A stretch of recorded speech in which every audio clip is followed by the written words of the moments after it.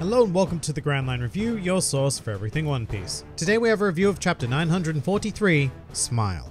And ladies and gentlemen, I am thrilled to announce that the drought is finally over. That's right, for the first time since early Dressrosa, Zoro and Sanji have interacted. Now this is pretty insane when we think about it because the last time they were even in the same vicinity was chapter 723. It is now chapter 943, so that is an incredible 220 chapter wait. Although to be honest, I didn't realize how much I missed the two of them together until the incredible final page of this chapter. And first up, I just want to devote some time to how stunning that center feature panel looks. I mean, this may actually be one of my favorite panels in the entirety of the Wano arc thus far. Sanji looks incredibly awesome with his crossed arms and one leg up pose. Along with his outfit, it feels very distinctly Japanese to me, and I love the fact that his foot is on fire. And also correct me if I'm wrong, which you know you're the internet and you'll do anyway, but is this the first time we've seen him engage in Diable Jambe without shoes? That's just his bare foot there, you know, casually on fire. Very cool, but very interesting. And then there's Zoro's wonderfully juxtaposed crouching position, one hand clutching Toko and the other grasping his sword, ready for action. This panel really is an artistic masterclass. Because Zoro and Sanji are just both so aesthetically poised to be conflicting opposites, because Sanji with his leg captures all of the vertical momentum, while Zoro with his crouching and his sword completely rule the horizontal plane. It really could not be a better artistic representation of just how different these two are, and yet they're so wonderfully held together by the smoke and the architecture in the background. And speaking of the background, one of my favorite parts of this panel is where you see Drake and Hawkins just standing there with very minimal detail. It kind of evokes the feeling that the Sanji Zoro duo is so awesome that it makes even two members of the worst generation look like fodder. On the other hand, it does seem very intentional to be placing both of them there when featuring two of the monster trio in the foreground. I'm hoping that this is very much hinting at a nice 2-on-2 battle to come, because really Zoro and Sanji are well and deep into the shit now. They're standing in front of the Shogun in a public execution plaza with the potential of everything still being televised actually. The nation's eyes are very much on them, and I feel like it's about time for a proper Wano skirmish. We've had an awful lot of these brief encounter followed by escape sort of situations, and I'm not sure how long we can really keep going with it. If anything, I could see a situation where Zoro and Sanji are subjected to an overwhelming show of force from the Wano samurai or the beast pirates or both, and thus not ruining one of the things that Yasu bought for them with his sacrifice, which is maintaining the idea that there is no rebellion occurring on Wano, no, none whatsoever, and if Zoro and Sanji simply escape, then there is something obviously weird happening, and I'd imagine that Orochi and Kaido would both be put on high alert. Plus, just imagining the entirety of the monster trio in prison together is a very cool thought, but on the other hand, that would just go on to extend the prisoner mind stuff, so there, we'll see what happens. But moving elsewhere, I'd say the main purpose of this chapter was definitely to give us some solid information on the smile fruits, and wow, they are so much more horrific than I could have ever imagined when we first heard of them way, way, way, way, way back when. And yes, we learnt about this side effect last chapter, but after having some time to think on it, having your emotions stolen from you is just terrifying. I mean, imagine not having access to the ability to feel happy being forced into a permanent depression. Well, we have the inverse occurring here, but just because that's the case does not make it any less of a horrible life to live. These people have been robbed of their right to feel, which is such an integral aspect to being human. Without these feelings, there's no way to properly process things like grief, meaning that they would be living in a perpetually torturous existence. It actually makes me wonder if by the end of the arc, we'll find a way to cure the smile side effects, maybe through roping Caesar Clown back into things, or you know what, even Chopper might be able to use his ample skills to heal them, but I do feel like at the very end of the arc, we are going to get some sort of big, overwhelming scene where all of these people are finally able to feel once again, and they'll just immediately break down into the most soul destroying grief imaginable. But because of how it's been set up here, it will actually somehow be a happy and triumphant moment. The whole smile explanation portion of the chapter also delivered my favorite dialogue here as well, which is the great contrast between Komurasaki's words describing this place as hell, and then Orochi going on to claim that it is akin to heaven. It's really just gut wrenchingly sickening what Orochi has done here. In trying to craft his own paradise, he's robbed people of emotion to the point where all they can do is laugh at his actions. And then he also has the gall to go on to blame the laughter he inflicted upon Toko for Komurasaki's quote unquote death. Honestly, at this point, he is beyond Spandam levels of dickery for me. Spandam at least had a comical side, but Orochi is entirely irredeemable, and seeing him fall is going to be simply wonderful. As for other miscellaneous things about the chapter, it was really nice to finally get an explanation for the various levels of Kaido's crew in terms of what exactly the waiters, gifters, and pleasures are. I mean, it does make me feel kind of bad for the pleasures, but at the same time, yeah, it was their choice after all. And the other thing I quite enjoyed in this chapter was the short flashback of Yasu, or quite specifically, any panel involving the younger Nine Red Scabbards. Quite notably, Denjiro and Kawamatsu are still silhouetted, but that's to be expected, I guess. And I mean, they're all just so adorable, especially Inuarashi and Nekomamushi. And they all look like such a classic group of ragtag delinquents. Although I was kind of surprised that Ashura Doji was there. From the short flashback we saw earlier in the arc, it seems like Oden fought and won him over to his side much later in life, and yet here he is as what I'm assuming is a teenager of some sort.